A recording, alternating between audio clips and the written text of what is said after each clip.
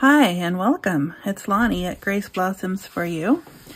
And yesterday I made this tag that I really liked and I can't really duplicate it on video because it uses a machine but I can give you the gist of what I did. Um, I want I want to make some more but um, maybe I could do them a little differently. So I had this image. Well, first I started with a file folder tag shape. And then I sewed this image onto it. And I also sewed some lace onto it. So that was the one side.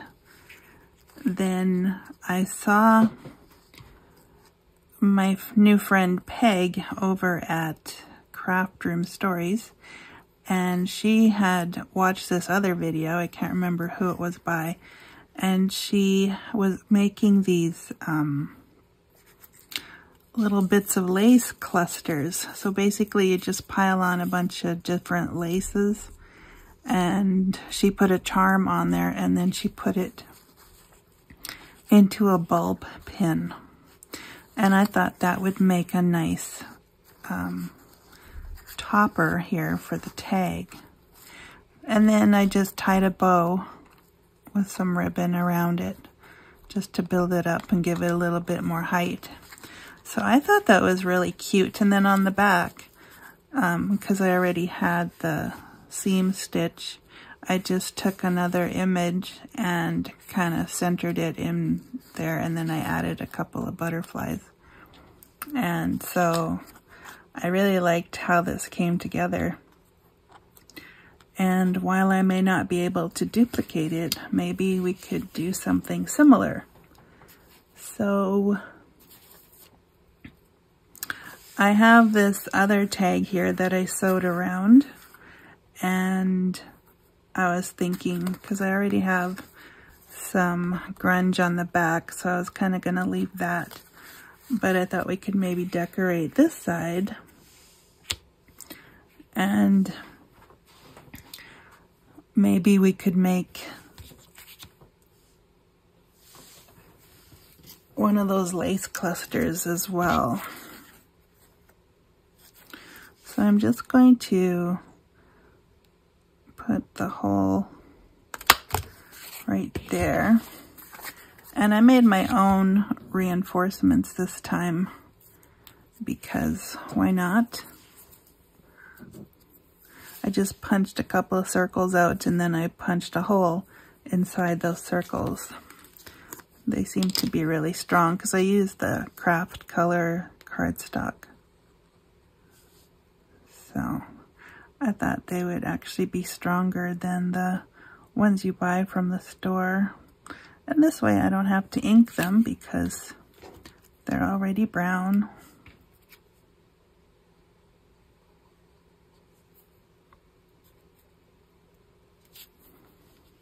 So there's that. Okay. So then we need an image. And it doesn't have to be that shape necessarily. It can be any image you like.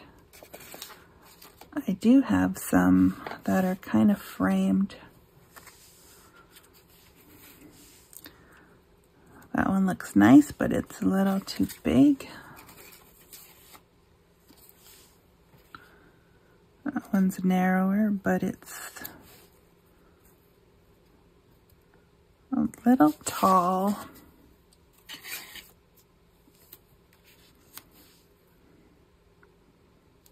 Okay, I'm going to use that. Yes, I like to put images on backgrounds and then use them that way. I think I will ink this one a little though. I actually wasn't going to, but the reason I wasn't going to is because the way I have these images on the white cardstock here reminds me of the photos we used to get back when back in the day when you would take your negatives to the um, photo place. I don't know what they call them. And then you would wait for them to develop your pictures and they would come out with a white border. So I'm going to glue this.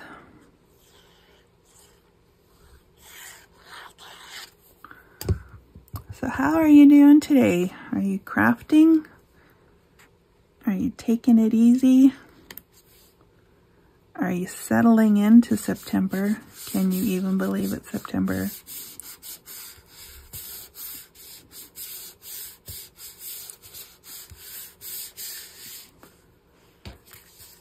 So, there's that. And I'm going to ink the tag as well.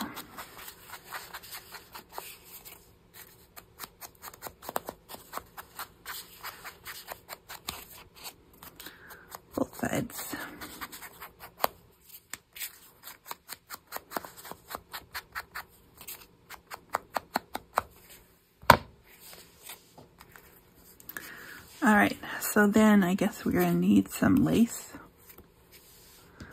I'm going to just move that, stand it in front of me so I can see kind of what I had done there. So for instance, I had this really long lace and I just cut that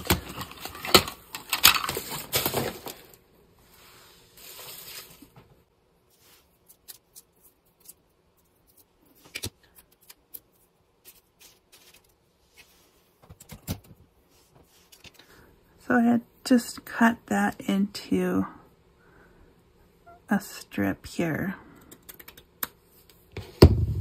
kind of for the background. I'm just going to duplicate that one because I have all the same lace still here.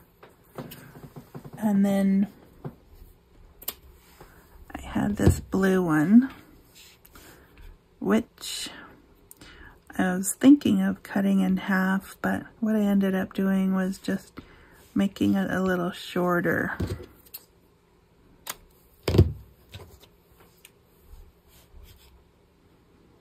Like so. And then I have this brown lace, which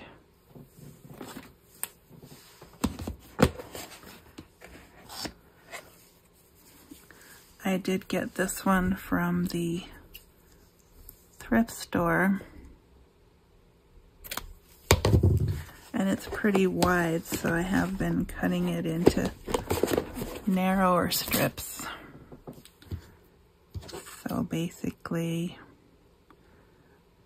for this one, I just kind of trimmed out the middle just to give me some different um, colors and shapes. Could use the skinny one too. I've done that before. So, let's see.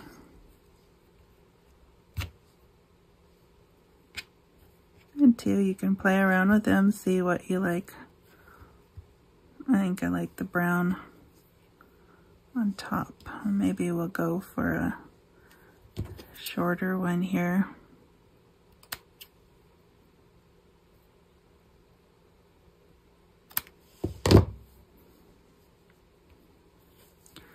Like that. I'll save those for another time.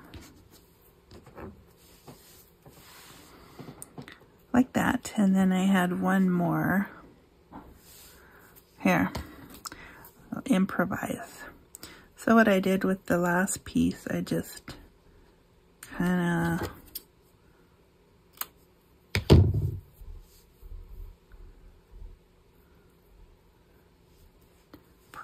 folded that in half to make it look like a bit of a ribbon there. Like so. And then I need a charm because that's what attracted me to this project in the first place.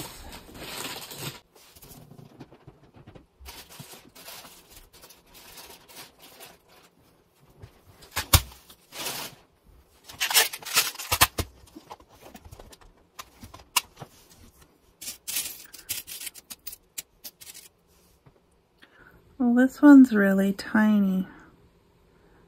Maybe I need a jump ring for that one. Just to give it a little bit of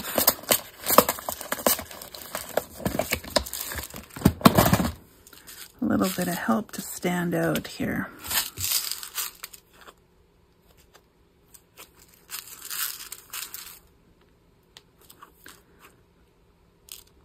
This one's always a little tricky.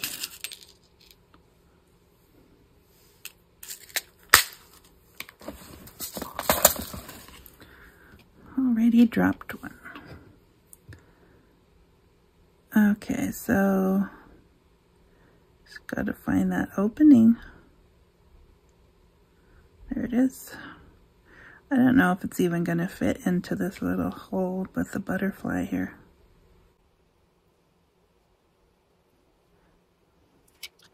It does not. I think the hole in the butterfly is too small. Yep, it's not gonna work. Let's see. I've actually been using the some of the charms to, um, oh, you know why? Because most of the other holes in the charms are built up on the outside. Okay, something to keep in mind. So this one is a flower and the hole is a little larger, quite a bit larger actually. But I was thinking I could still add this.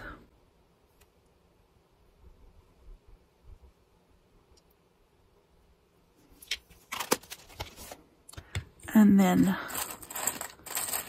I'll get a bulb pin. I only have the one color of bulb pin, so that kind of limits me for that, but oh well, it is what it is. Okay, so I put the charm on first, like Peg showed us. And then the tricky part is going to be to make sure to get all these little bits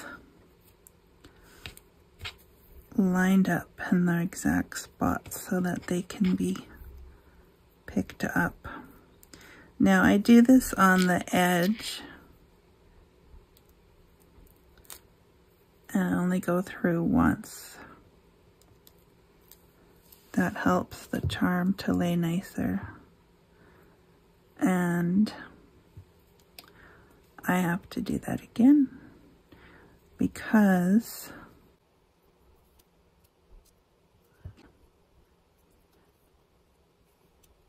I don't think it likes that jump ring. Because the jump ring is causing it to um, turn on its side.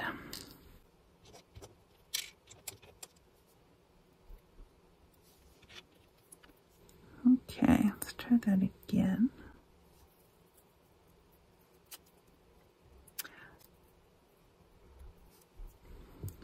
There we go and that can swing around there. I'm just kind of gently tugging on it to see if it's attached.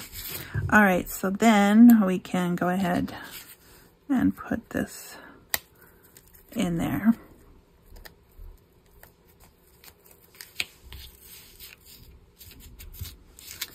Like so.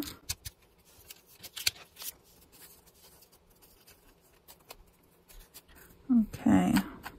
I don't think I have too many on there, but not 100% sure either. Okay, so there, they're all there. Then what I'm realizing, this picture is different. See on this one, I've got lots of the flower, so the lace covering up some of it, it's not a big deal. On this one though, the um, the lace is covering up all of the bulbs or the flowers itself. So I think what I'm going to do is save that for something else and see if one of the other ones I've made here are going to be a bit better. Somehow I doubt it because I think I made them all a little on the large side. Okay. I've got a few that I made and yeah, some of them are quite large. How about that one? Still too big. Okay, what I could then do, this one's really long. All right, here's my plan. Because what I also did was make some little bits of fabric and then add some lace on top and secure it with a button.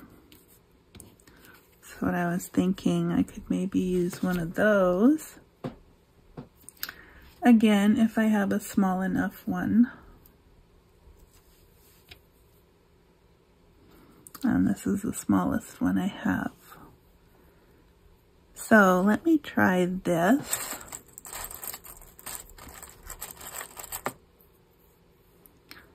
With another bulb pin.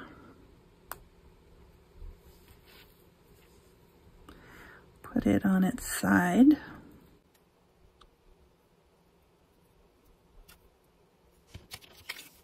Just to make it a little, so this one then doesn't have a charm, but I suppose it could. I mean, it could have a button and a charm, right?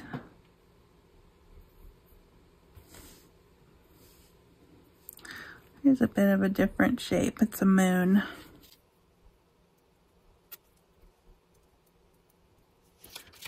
Okay, I don't know. Might be overkill to have the charm and the button. But not really, because it swings back and forth, so you can still see both. And now you can see the flowers. So you just have to play with it till you get what it is you want to do. And then for the back, I probably will want to put another butterfly. I do like butterflies. That one's kind of cool because it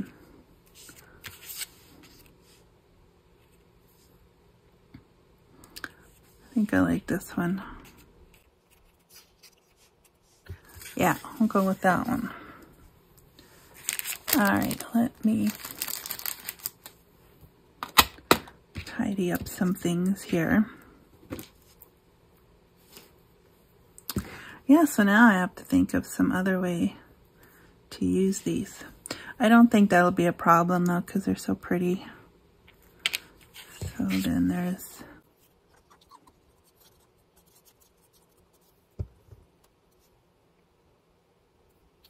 In fact, this one would go well with maybe like a word.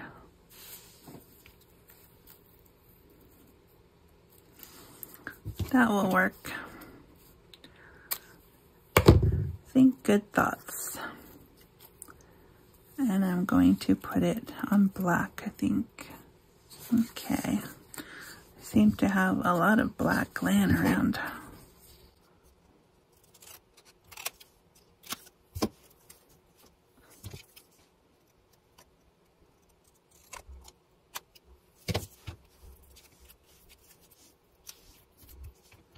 Let's see if that fits. Nope. All right, I'm just gonna trim that. Good thoughts. I think the same message. Just a little shorter.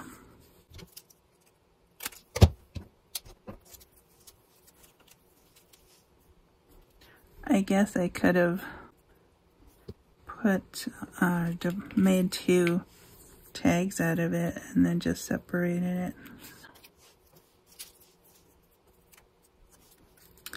So I could put the think and then the good thoughts down there. Eh, why not? I don't usually do that, but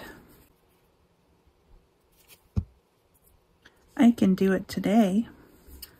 I like to have it a little narrower. It's a little tricky with small things, but we got it. So I think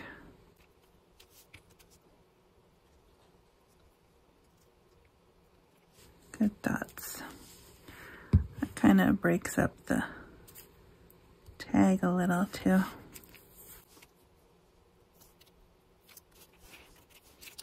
There.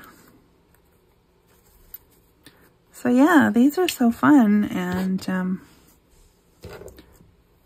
you don't have to put those on tags. I just got the idea to do that. So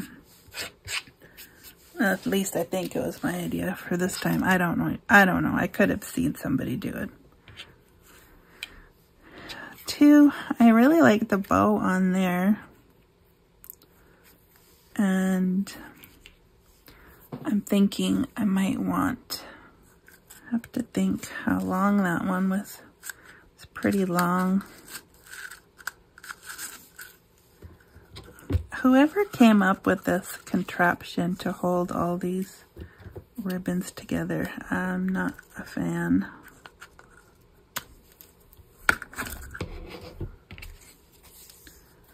All right, so put this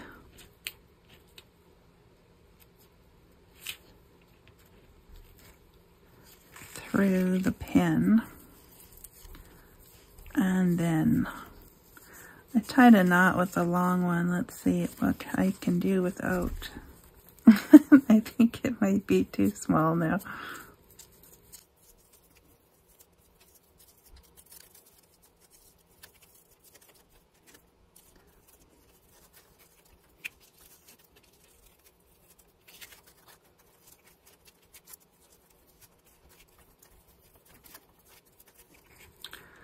Okay. So that one can kind of sit above there, like so. I could hot glue it in place if I wanted to. I think it's gonna give that a little snip there and a little snip there. It's just a matter of how you want it to sit. And then if you want to attach it, you certainly can. I thought the whole point of putting the the bulb pin in was to um, kind of keep it flexible so that you could then even attach the tag to something else yet. So, might use that later. So, something like that.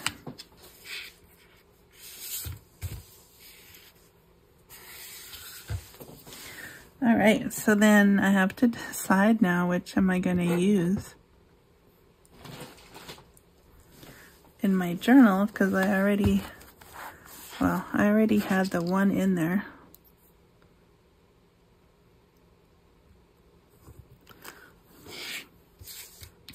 But now I'm not entirely sure which one I like better. I actually think this one would go better. All right, let's do that. Just gotta find a spot. In fact, I think I had it right in the front. So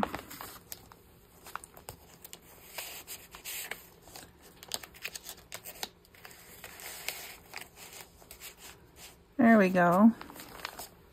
We got some hangy outy doodads there. And then they have to pull it out to see what it is they have there. so yeah, that's what I got today, and uh, hope you enjoyed that. Go see Peg over at Craft Room Stories. She um, tells some whoppers. Anyways, thanks again, Peg, for that idea. And um, we will see you guys next time. Bye for now.